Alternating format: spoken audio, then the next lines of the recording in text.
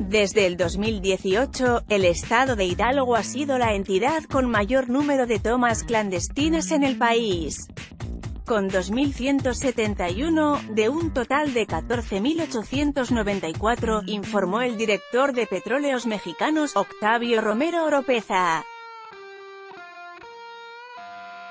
En el año del 2018, ya Hidalgo ocupa el primer lugar en tomas clandestinas con 2.121, y Puebla.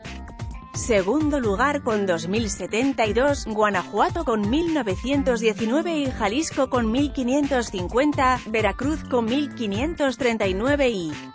Así sucesivamente el 80% de las tomas clandestinas se concentran en los estados de Hidalgo, Puebla, Guanajuato, Jalisco, Veracruz,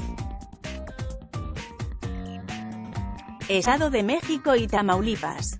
Momento exacto de la explosión en Tlahuelilpan que dejó decenas de muertos Romero Oropeza también comentó que el 50% de los incendios en las tomas clandestinas ocurrieron en la comunidad de Tlahuelilpan, donde encontraron alrededor de 70 tomas clandestinas del 2016 a la fecha y hasta el momento y detectaron 6 incendios. El primer incendio registrado en esa entidad ocurrió el 4 de febrero de 2018 en el municipio de Apan, el segundo en Huichapan el 23 de agosto de 2018 y el tercero el 2 de diciembre de 2018 en Tlahuelilpan.